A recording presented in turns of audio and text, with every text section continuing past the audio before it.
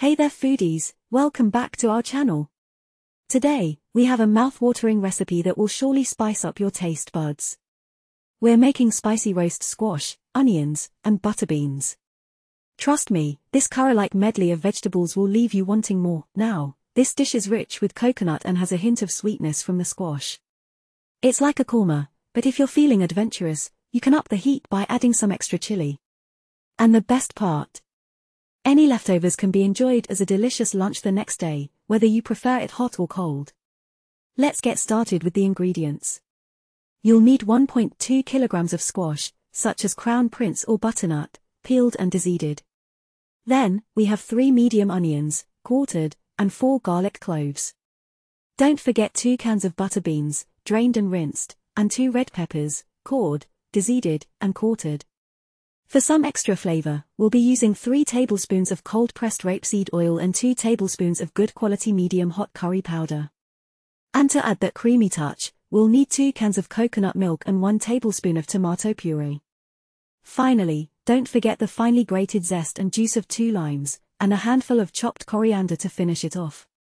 First, preheat your oven to 220 degrees Celsius.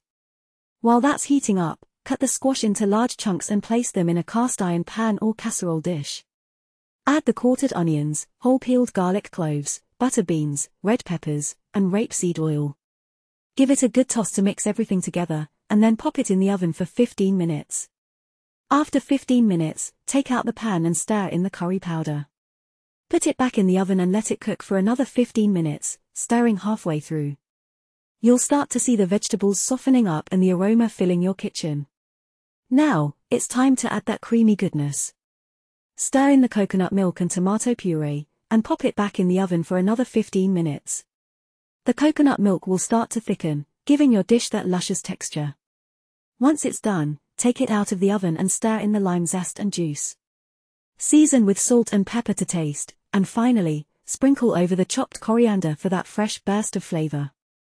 Serve this spicy roast squash, onions, and butter beans with some fluffy rice, and you've got yourself a satisfying and wholesome meal. It's perfect for a cozy dinner or even a lunchtime treat.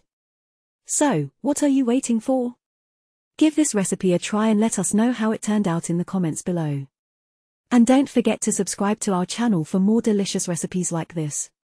Happy cooking!